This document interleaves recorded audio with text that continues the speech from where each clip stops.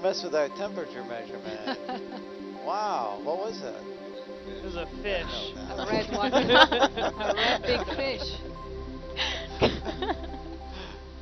Pretty sure it was a fish.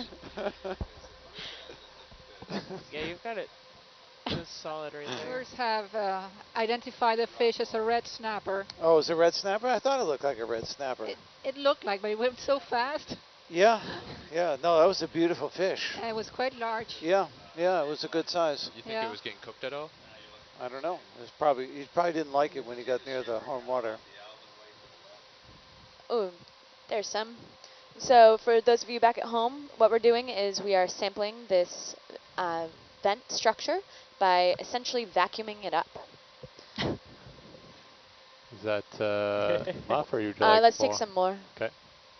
It looks like there's a lot more in the bucket when it's all flying around like that. Yeah. Um, Sarah, can you confirm that temp measurement five was taken here? Like at this site? I believe so. That's what Carrie said. Okay, uh, great. Gas Steve. This is a it? gas, Gas tight, tight, sampling. yeah. Okay. How does the uh, gas tight sampler work?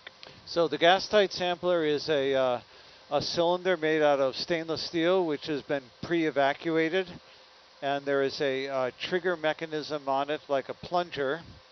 We have a small red funnel, which we will hold over the the stream of gas bubbles.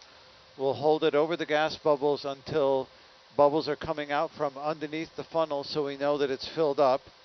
Then the ROV will trigger the um, with a solenoid on the on the ROV arm will push the plunger in, stuff and already. it will draw the bubbles into the evacuated cylinder. Okay. Oh, look at the big eel in the back. Whoa. Wow. Ew, someone's coming to see us. Wow. Go up Yeah, to you can put it in degrees. the uh, forward Uh. box, the starboard side, the gray box.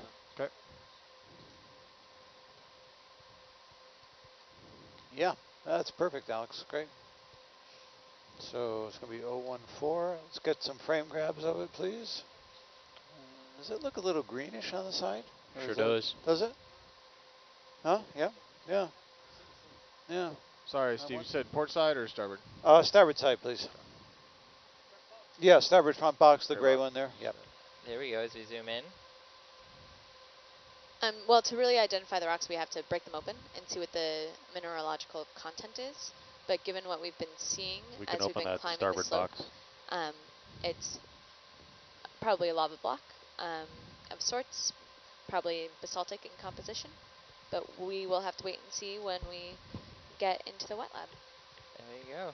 So uh, another reason to stay tuned to Nautilus Live. Uh, in addition to the fantastic live footage, we will let you know in the future what kind of rock this is.